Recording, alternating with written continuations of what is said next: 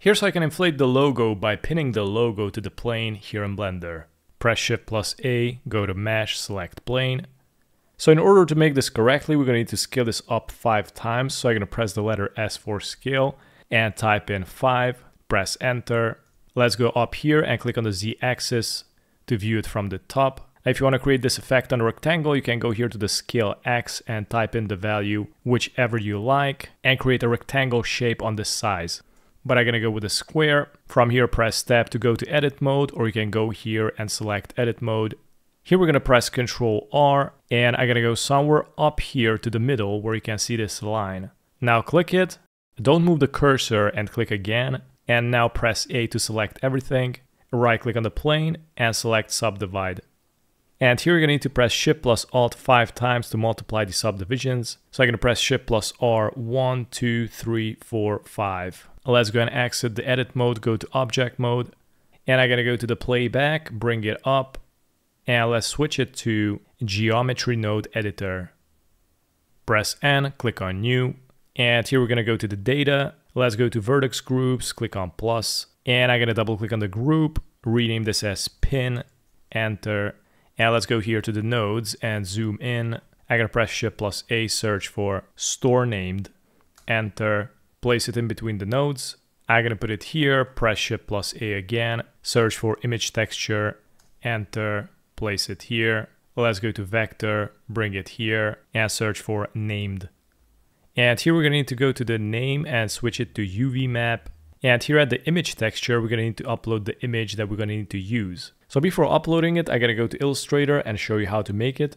And here I get the vector image that I'm gonna go with. I gotta scale it up and we're gonna need to add a black background. So first I'm gonna go to the fill here and I'm gonna swap it so the fill is gonna be black and the stroke is gonna be white. So I'm gonna click on the fill so it's gonna be on the top.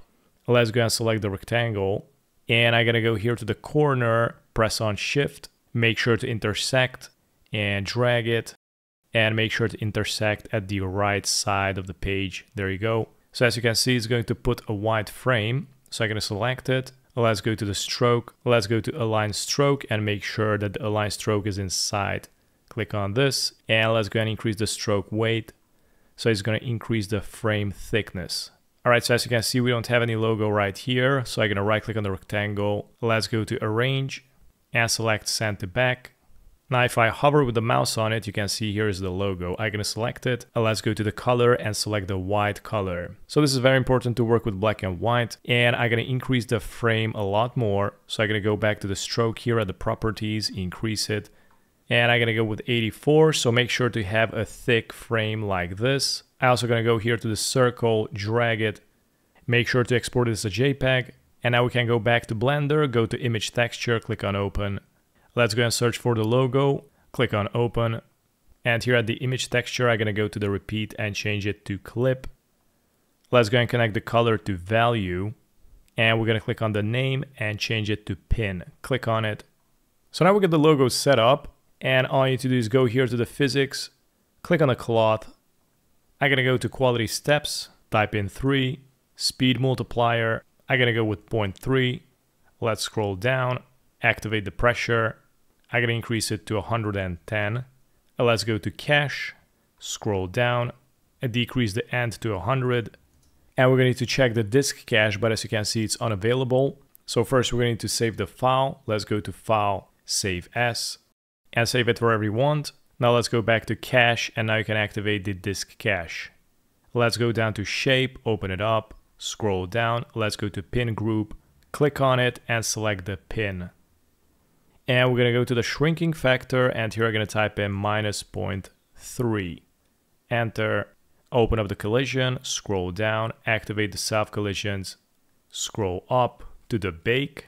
Now before we bake this, I also remember that I'm going to need to add a subdivision mesh. So I'm going to go here to the modifier and select the geometry node, click here, and let's go back to the nodes. I'm going to bring the group input here, press Shift plus A, and search for subdivide mesh. Enter, and I'm gonna place it in between these nodes, and we're gonna go with level one. Now let's go back to physics, scroll down, and click on bake. Now wait until it's gonna render it, and after it's finished, I'm gonna split the screen here, and I'm gonna change it to timeline. Here you can hit play. And now I'm gonna go to the shader editor. Let's go to shader editor here. And I'm gonna add a texture. Make sure you're on object, click on new, press shift plus A search for image texture, enter, place it here, connect color to base color. And I'm also gonna need to smoothen this out, right click on it, shade smooth. There you go. And here I'm gonna click on the image texture, open, and I'm gonna import one of these logos, click on open.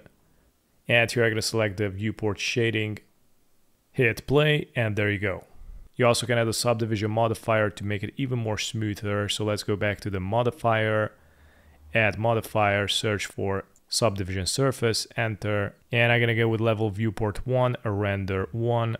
And pretty much that's it. Thanks for watching.